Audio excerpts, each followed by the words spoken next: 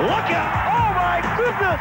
Renty for three. Oh, my baby. Oh, baby, what a pull! Mookie!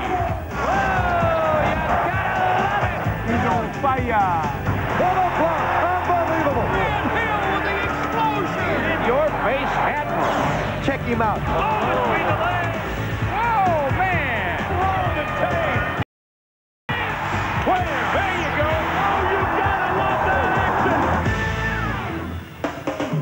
tip things off by taking you into the action in the Western Conference, starting in the Midwest Division with the Utah Jazz.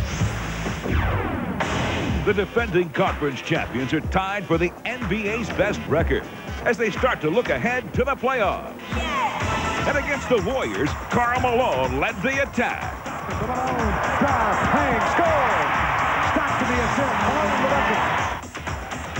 Right corner to Shannon, low to Karl Malone. He rolls in Malone had a season-high 38 points in Utah's win over Golden State. The next night, Utah hosted Danny Ainge's Phoenix Suns. And the game was close from start to finish as the lead changed hands 29 times. In the fourth quarter, the Jazz looked to take control behind the mailman. Watershut right side to the right corner to Eisley. He's alone. Goes underneath the Karl Malone gate. Plans great finish. Count it. He's fouled. Karl Malone, the fastest gun in the West. Still, the Jazz trailed by one until Bryon Russell stepped up. Out front to Russell. Russ making one bounce, leaping lane, 16-footer. Good. Right down the barrel. Bryon Russell. Right inside the 20-foot mark. Hits it. But the Suns came back with a huge shot of their own. To the right corner. Morris for three. He got it. Chris Morris, a former Jazz man, and the Phoenix Suns go crazy. With you down by two, Malone was fouled on a three-point attempt at the buzzer, and he'd have a chance to win it at the foul line. Pressure, pressure. Free throw. Good. The number. Three in a row. I realize that if I can have good games, our chance on winning go up. I realize that, but I'm starting to like what I'm seeing from my team. Next, the Houston Rockets look for something to smile about after seven straight losses to Utah. But the Jazz were too much. Tight door. Russell with a jam from Eisley. Russell scored 19, while Greg Ostertag added 11 points and 15 rebounds as the Jazz beat Houston again. Now let's go back into the action, this time in the Pacific Division, where the Sacramento Kings are making a run at the playoffs. Chris Webber and the Kings got their week off to a good start against the Nuggets. Webber in front of Fakes, gives it up, Divac a dunk. Vlade Divac scored 21 points, and so did Webber with the help of point guard Jason Williams. And it comes out to Williams. He's three on one. Williams foot race for the trailing Webber. Look out. Whoa! He jams it home. Sacramento won it by six. Next, Williams took his show on the road to Vancouver and displayed more great passing. Shot clock at five seconds. Ball in the hand of Williams. What a pass to Vlade Divac. Ah, but Jason wasn't through yet as the Kings won it by three. Oh, what a pass by Williams. Man, feel like uh, every game that we play from here on out is going to have to be like a playoff game if we expect to make it. next up, Karl Malone and the Utah Jazz, who took an early nine-point lead. But Williams and the Kings came storming back.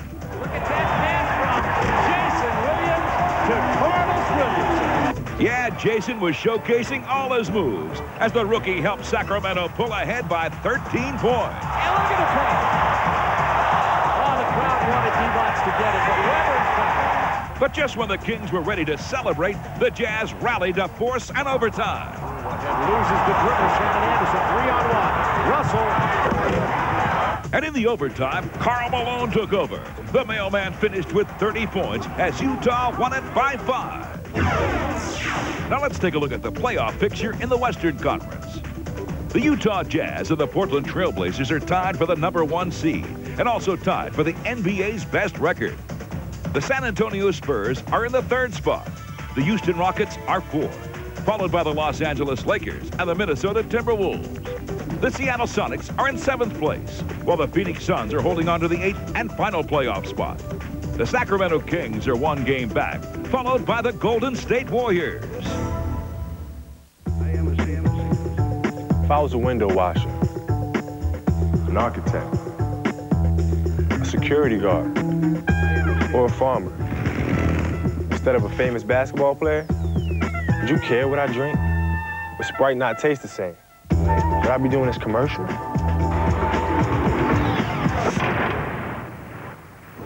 What do you think?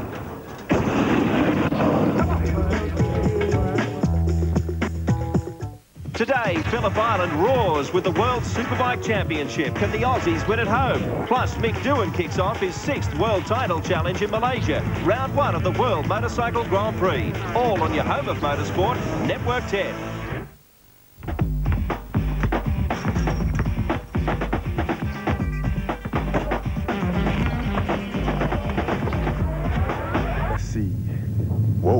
Right hand.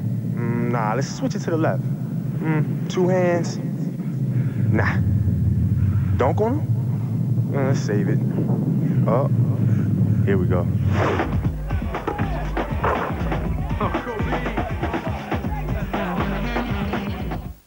Well, your car starts singing when you turn the key with the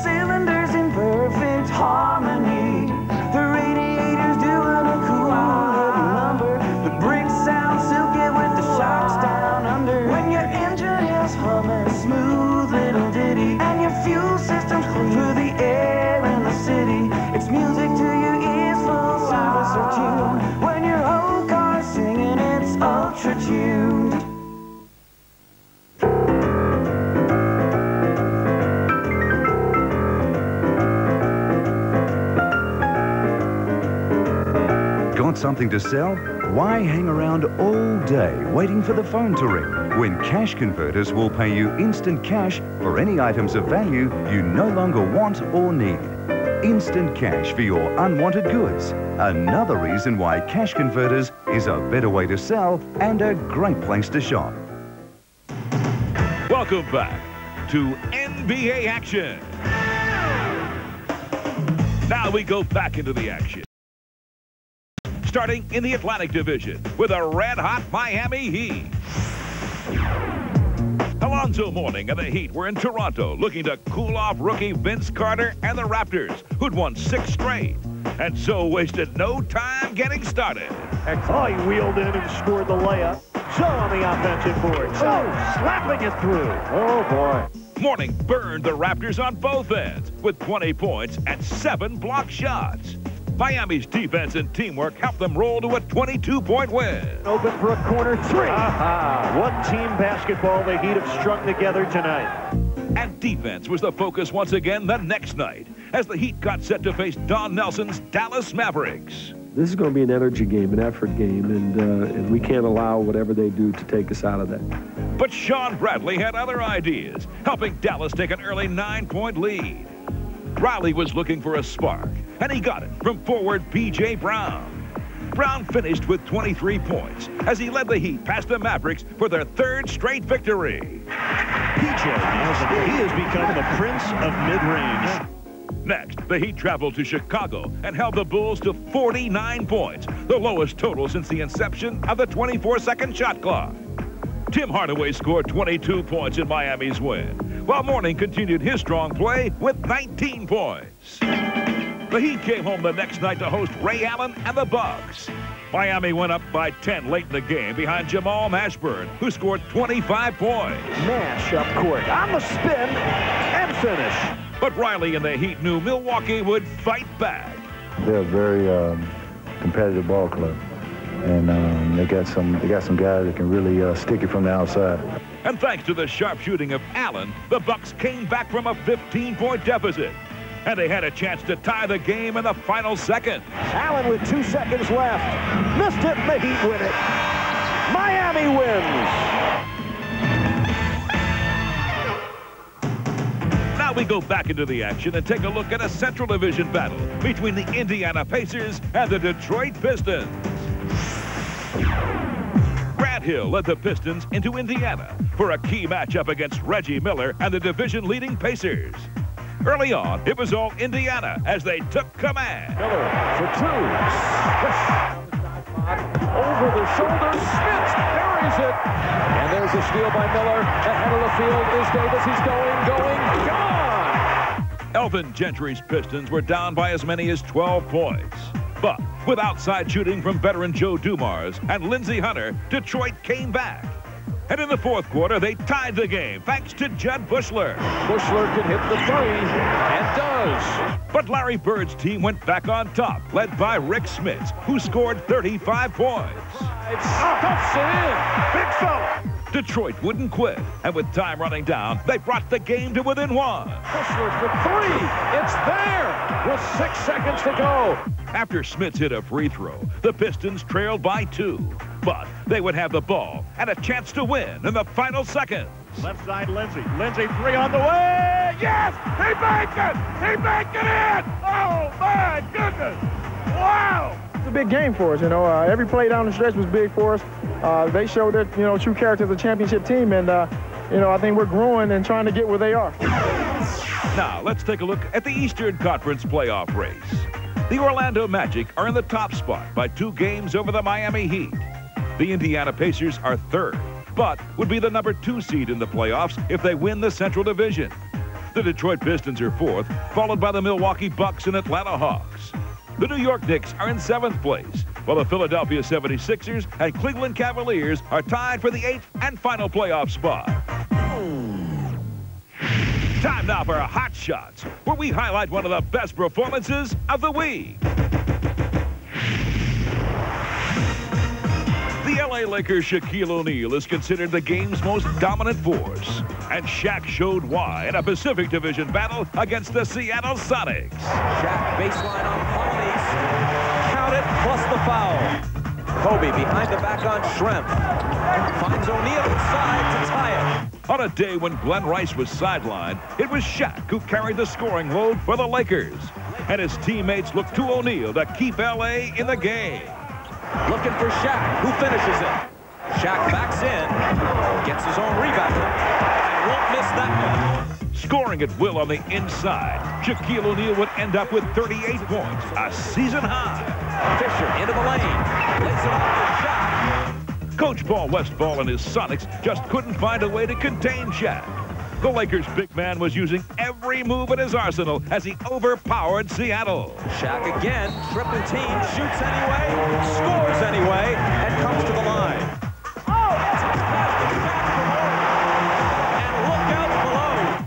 the Lakers lost the game by four, O'Neal made 18 of 30 shots from the field and also pulled down eight rebounds. Now here's the league scoring leaders. Philadelphia's Allen Iverson's on top with Shaquille O'Neal in second. He's followed by Shareef Abdur-Rahim, Karl Malone, Gary Payton, and Tim Duncan.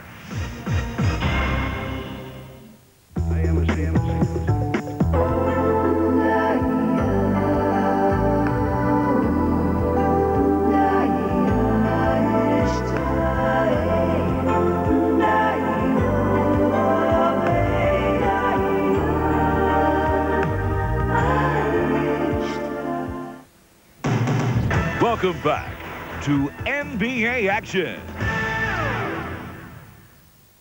Now it's time to enter another basketball dimension as we check out some of the week's best plays in the highlight zone. Going around in circles trying to find the highlight zone? Well, stop hanging around. Open your eyes and take a close look at these incredible alley-oops from around the league. For Penny. Nets are off and running. Marbury the lob. Fairmore the catch. The alley-oop. Three up to Bibby. They got three on two. Alley-oop. Yes! To Lopez. Oh, that was a nice pass. Still can't find what you're looking for? Well, try taking a peek at these thrilling buzzer beaters. Marbury one-on-one with Iverson. Marbury, the jump shot. Got it at the buzzer. Well, you knew he was going to take it. Out on top, Phillips. A huge three that's good from near the center line. I mean, he was barely on the Grizzly logo. Unbelievable shot. Excuse me, hurry up and find your seats there because you definitely don't want to miss some of the highlight zone's, uh, well, you know, lighter moments. Okay, Shannon took him right off the picture. Yes, sometimes players just can't seem to get a handle on things. Miscommunication there. Kornel David made a cut. Dickie Simpkins didn't realize it. David, however, gets it back. Can they corral it? No, they can't. My goodness. All right, now it's time to really get down with some incredible passes from the NBA's top playmakers. Jackson, beautiful feed. Davis counted in a foul. Pretty feed Pass from Stephon Marbury. Now, we don't want to put you to bed just yet because it's still early enough to catch some of the best defensive plays of the week.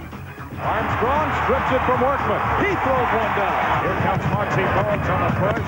Starks to the hoop. Blocked by Finley. Hey, where are you going with that ball? I guess that means it's the end of the zone. So until next week, drive safely and keep your eyes on the road. Time now to break down the basketball basics and take an inside look at one of the NBA's greatest coaches ever in Choctaw. Pat Riley's proud to be third in NBA career coaching victories after passing Dick Motta and the legendary Red Auerbach. It's quite an achievement just from the standpoint that you know, these are great, great, great coaches that have put a lot of time and effort into it. And, um, you know, I've been blessed with a lot of players, and, and for some reason I've caught, I caught a lot of these great men. So it's an honor to be up in that class. Riley's leadership and intensity have helped transform the Miami Heat into one of the league's elite teams. Pat's head coaching career began in 1981 with the Los Angeles Lakers, and he guided them to four NBA championships in the 1980s. For 10 years, uh, there wasn't a better team in the history of the NBA for sustaining excellence. There was nine trips to the finals. There was five world championships. See, when it comes down to focus, and when it comes down to intensity, and it comes down to courage and will, that team simply showed the heart of a champion. After winning the 1987 title, Riley motivated his team with a bold prediction. We're sitting there at the parade. So Riley jumps up. It was his turn to speak. And he said, you know what? I'm guaranteeing everybody here, next year we're going to win it again. And the Lakers made good on the promise, winning back-to-back championships. But in 1991, Riley moved on. He embarked on a new challenge as he brought his winning ways to the New York Knicks. Under the guidance of Riley, the Knicks became championship contenders. They reached the 1994 NBA Finals against the Houston Rockets, where New York jumped out to a three games to two lead. What a play by Derek Harper. The Knicks would lose in seven games. And in 1995, Riley joined the Miami Heat. This year, he has them poised for a run at the championship. All the Heat is cooking. They're really cooking, Eric. We're as good as anybody. Um, you know, we see ourselves right there in the finals.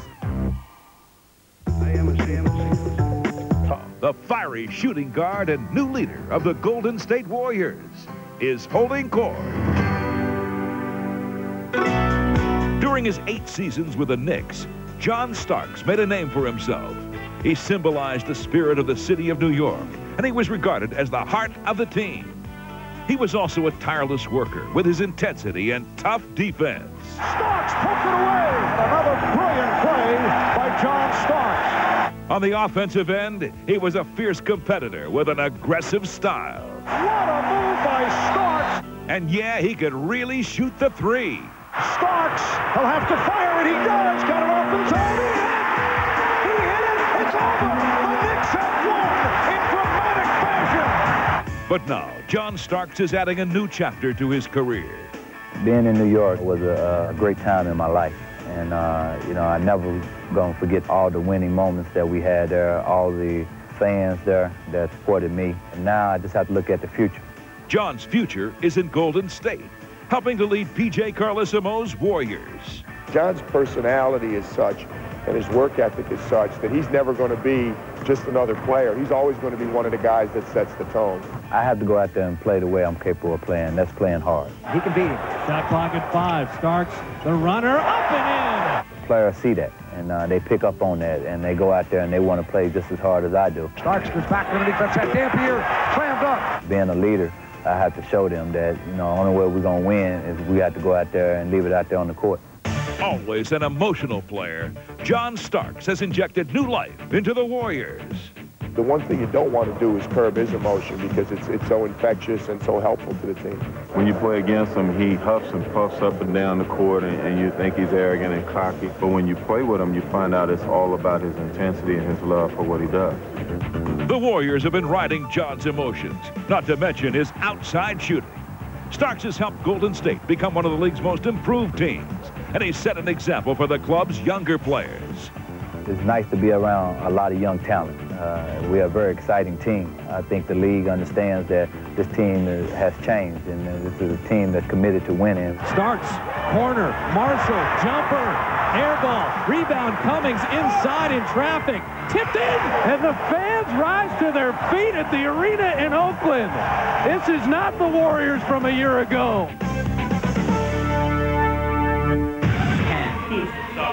Nine. Right, now it's time for the top 10 plays of the week in our courtside countdown. Coming in at number 10, it's the LA Lakers' Kobe Bryant. Bryant spins by slam. He absolutely owns that baseline. What a spectacular play. In at number 9, it's rookie Vince Carter of the Toronto Raptors. Vince Carter over top of Alonzo Mourning. Bryant stopped that one, big fella. Coming in at number 8, it's Cleveland Cavaliers guard Derek Anderson. Derek Anderson, oh. nice move to the basket by Derek Anderson. And Derek wastes no time to deliver the basket. Up and over Haywoode Workman. Wow. In at number 7, here's Kelvin Cato of the Portland Trailblazers. Oh! Kelvin Cato!